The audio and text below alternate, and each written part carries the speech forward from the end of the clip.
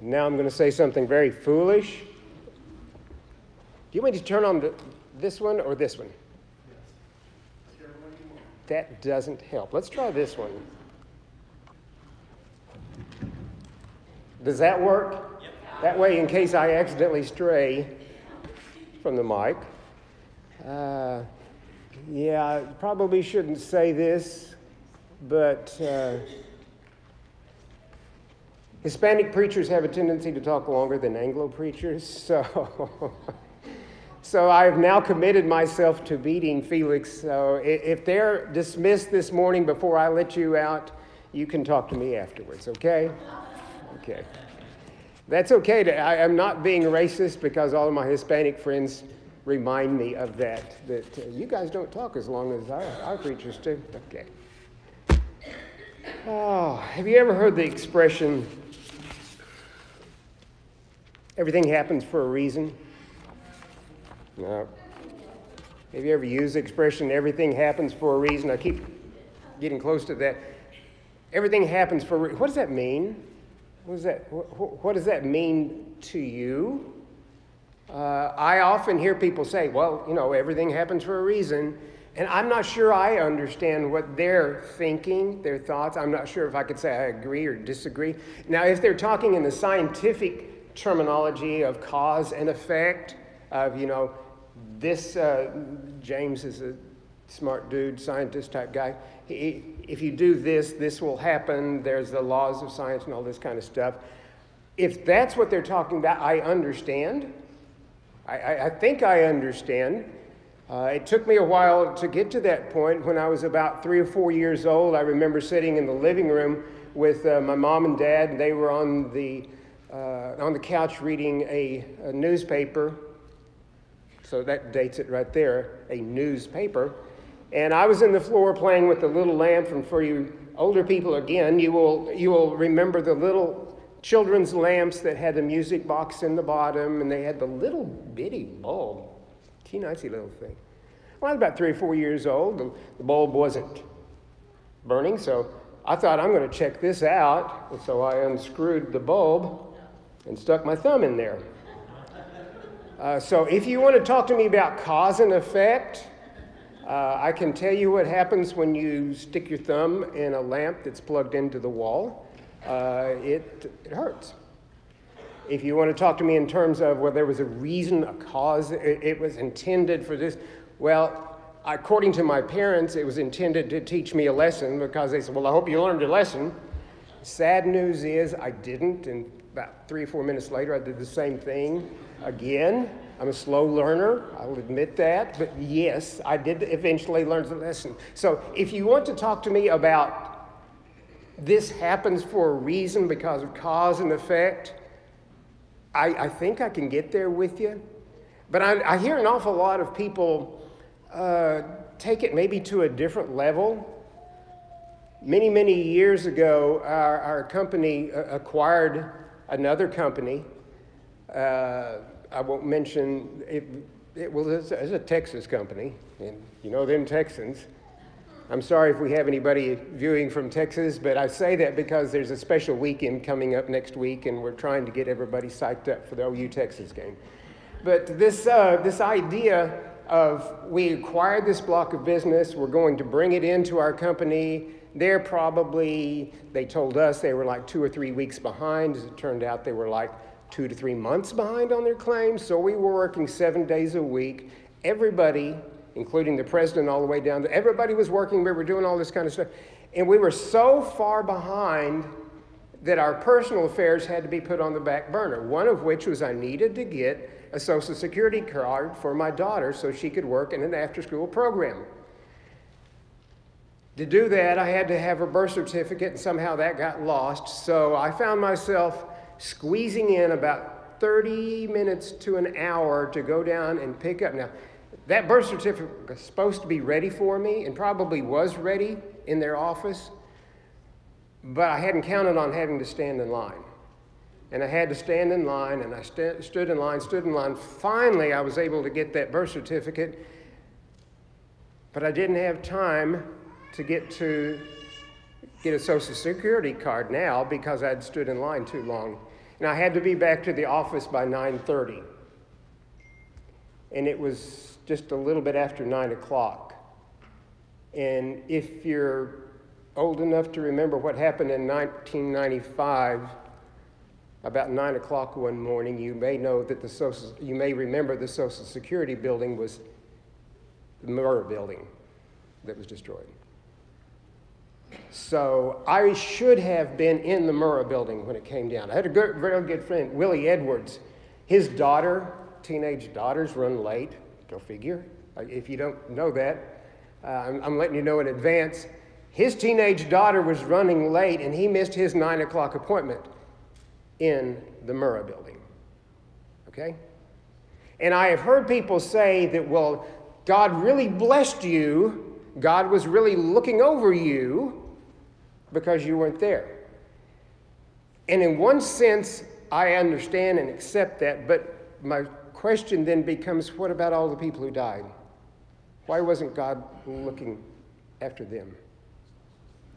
Are you saying that God wasn't? You see where I'm going with this? Sometimes we try to, in a very good effort, I, I, don't deny that, we try to explain things for God. Well, this is what God intended. This is, this is why this happened. It all happened for a reason, and we try to do this. There's some part of us as a human that we want to try to grasp, to understand things.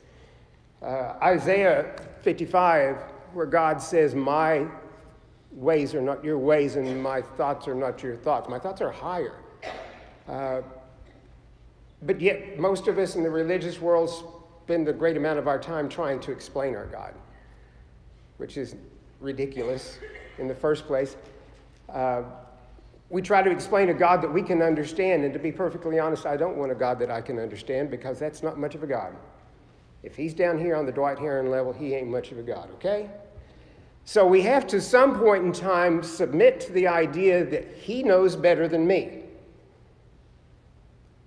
Okay, some of you are hearing this, some of you younger ones, oh, they're gone. We'll hear it in the future. Those of us older ones, remember hearing this. Do it because I say so. How does that sit? When your dad says, You just do it because I said so. Eh, for some of us, it really rubs us the wrong way. But realistically, that's what God is saying. I could explain it, but you wouldn't understand. So just do it because I said so. Just do it because I said so. All of this is an introduction into the idea. We're going back to the series of secrets and mysteries that uh, it's going to actually be a three week series. The next two, this week and next week, we're going to cover mysteries. Back in July, we talked about secrets. Uh, this idea of trying to explain things that uh, maybe we don't grasp, trying to find out how they happened, trying to figure out how things work. Um,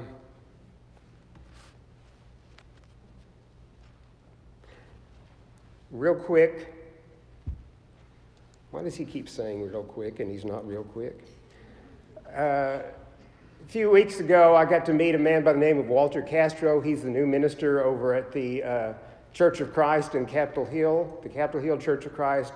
Uh, some of us refer to it as Lighthouse. Uh, they have Lighthouse Medical uh, Clinic there.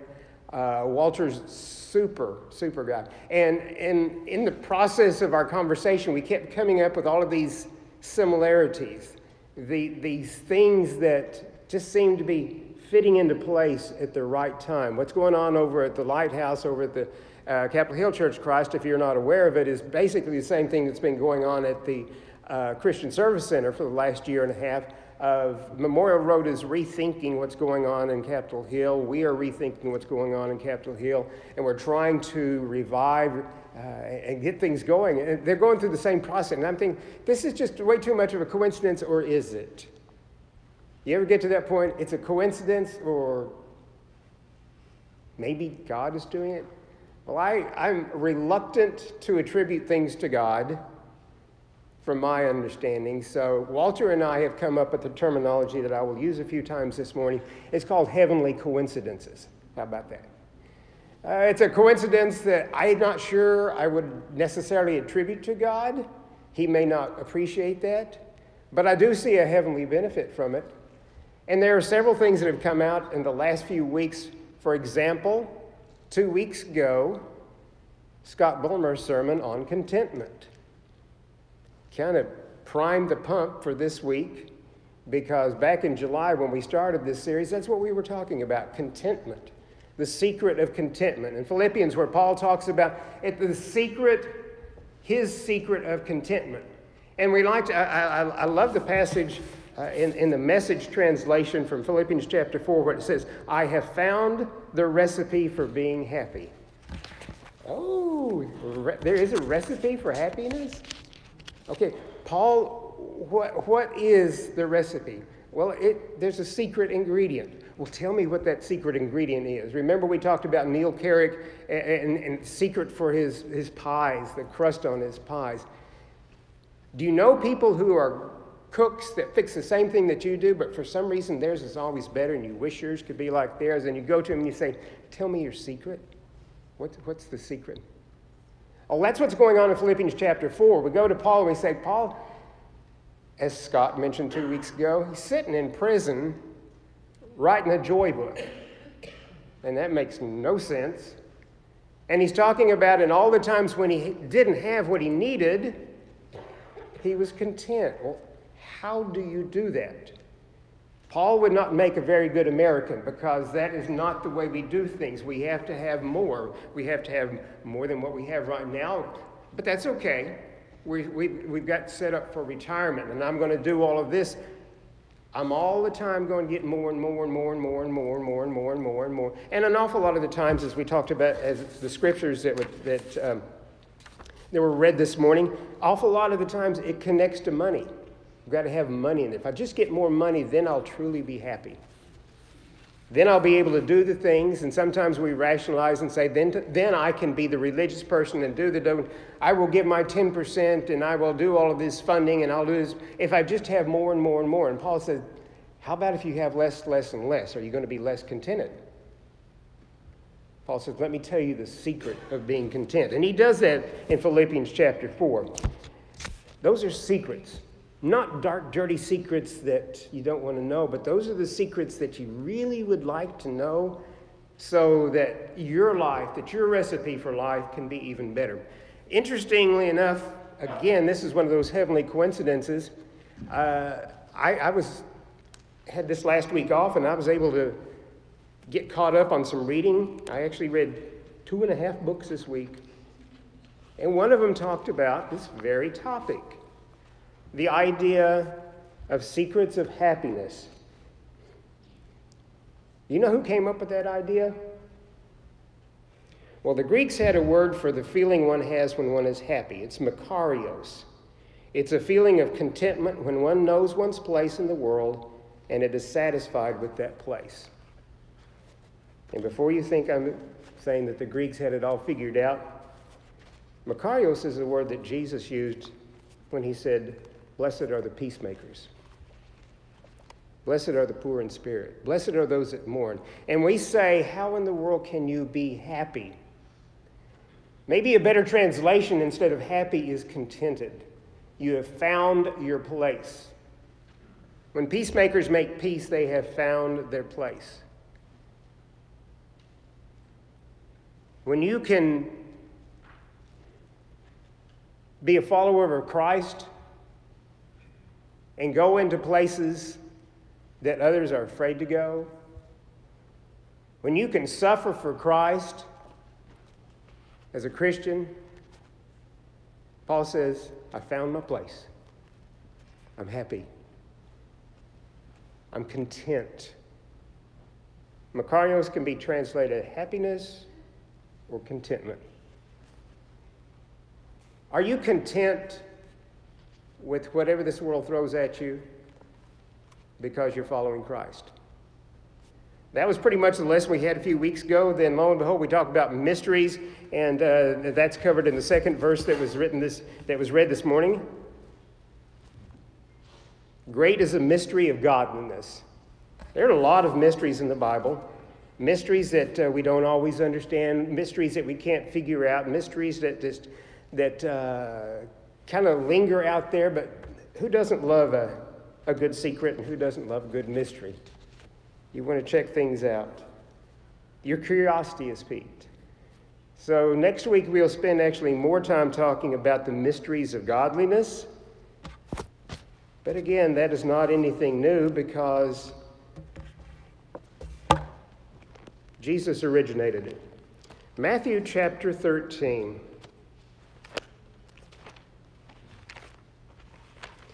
And I know I'm rambling, but there's a there's a method to my madness if you will just hang on with me for a few more minutes. Matthew chapter 13, verses 11 through 17.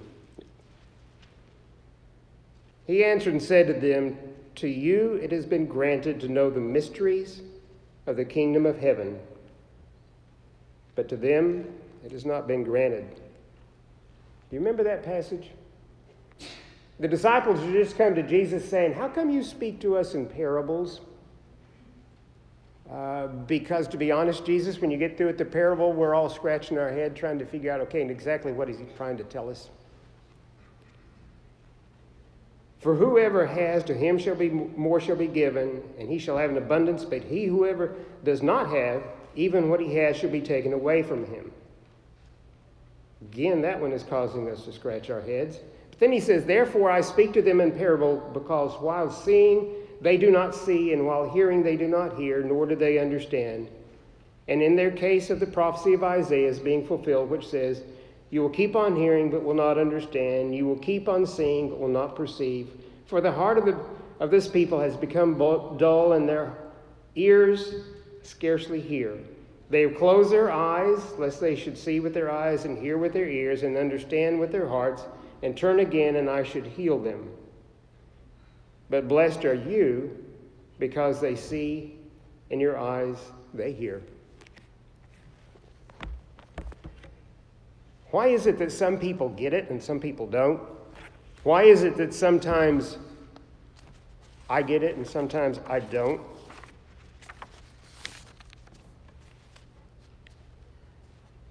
Vine's expository dictionary defines mystery as used in the New Testament as this. In the New Testament, mystery denotes not the mysterious, like we normally think of an English word, but that which, being outside the range of unassisted natural apprehension, can be made known only by divine revelation, and is made known in a manner and at a time appointed by God and to those who are illuminated by his Spirit. In the ordinary sense of the mystery, and sense of mystery implies that knowledge is withheld. In Scripture, the significance is truth revealed. It's, again, most of the mysteries of the Bible, not all, there are a few, John Pickens, again, another heavenly coincidence, had a great sermon last week about heaven, and, the, and, and that's a mysterious place we don't understand. I think we've got a glimpse, or we have an imagination, or what we think heaven might be like, but we don't really know. We won't know until we get there. But there are other mysteries that can be revealed, but they can only be revealed through heavenly assistance through the spiritual means of getting in contact with, with God Himself in His Word and spending time. Those who walked off scratching their heads saying, I don't understand this Jesus, probably most likely never came back. What made them different from his disciples was not that they didn't understand because the disciples had no clue either. The difference was the disciples kept going to Jesus. They kept going to Jesus asking the question.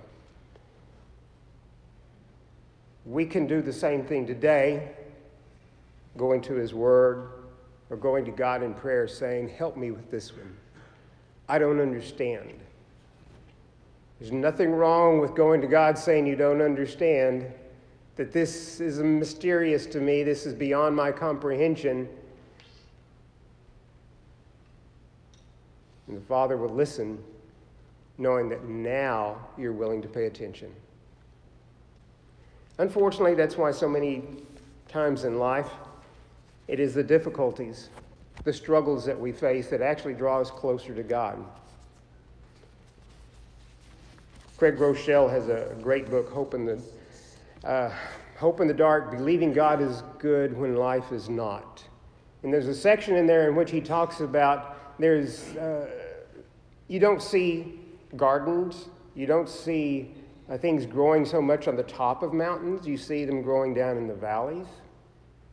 Now, we all love mountain peaks, but down in the valleys is really where we mostly grow the times in which we suffer difficulties, the time in which we go through challenges, those are the times that we go to God. And when we go to God, that's where we find our strength. That's when we find the answers to these mysterious questions.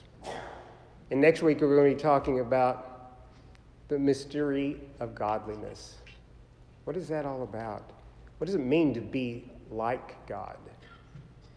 Does it mean? How do you go about doing that? What's the secret? What's the mystery? How does that play out? Jesus talked an awful lot about this.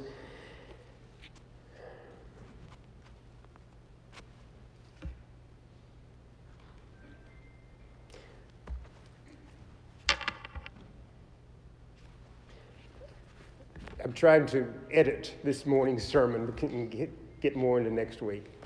Um, in, in your bulletin this week, there's, uh, there's a section I've mentioned before numerous times the community with God. At the very end, there is a song I'd ask that you would uh, listen to. It, it, it's not in our songbooks. You'll have to get on your on the www, as us old codgers say, get on your computer and pull up a song by Alison Krauss. There is a reason. Too often, we allow our lack of understanding to keep us away from God. Well, a God can't be good that allows something like that. And so, if I can't understand it, God must be wrong. And we walk away. But then there are times in which we go to God and in pure honesty we look to Him and cry out, I know there must be a reason, but I don't understand. That's faith. That's what faith is. Some people think faith is which church you go to or that you believe in God. Uh, that's not faith. Faith is following something that you don't necessarily understand, but you're doing it because your daddy said so. Because our father said so, I will follow. And this is what Paul will say I will live my life according to what the Father has said, even when it makes no sense to me whatsoever. Take a, listen to that song. I love the lines to it. Uh, maybe you can relate to it. There's a reason. I know there's got a reason. For the life of me, I don't understand it, but I know He has a reason. John chapter 12, verse 27. I kind of wonder in humanity if that is really what separates us in our godliness. When we come to those challenges in lives, things just flat don't make sense. John chapter 12, verse 27, Jesus said as he approached his crucifixion, Now my soul has become troubled, and what shall I say? Father, save me from this hour? It's for this purpose that I came to this hour. Father, glorify thy name. Therefore came a voice out of the heaven I have both glorified it and I will glorify it again. In just a minute, we're going to partake of the Lord's Supper. And if you want an example, if you want an example of how to live your life, which you may have to do so reluctantly, and for us, not knowing how the story is going to end, there is no greater example than the sacrifice Jesus made. Jesus laid down his life for sinful men. Jesus shed his blood for sinful men.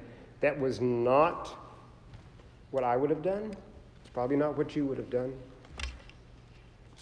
How in the world can, can this be successful? Jesus said, I am fulfilling my purpose. Jesus said in the Sermon on the Mount, What fulfills our purpose is that which makes us happy, that which makes us contented, that which fulfills our lives. That's happiness. That's Makarios. That's contentment. As mysterious as it may seem and as strange as it may seem, going to God and asking, So, what's the secret to happiness? And he says, The secret is following my son. We're going to partake of the Lord's Supper now. Uh, we're going to have a prayer. Uh, we're going to have an opportunity again. If, if you're not, if you're new or visiting with us, we have tables set up that have little cups in them. There are two cups. The bottom cup has the bread in it. The top cup has the juice in it. Um, but think about that. Think about that. How would you be willing to lay down your life for sinful men? Think about the sacrifice that Jesus made. And in so doing, that's how he was glorified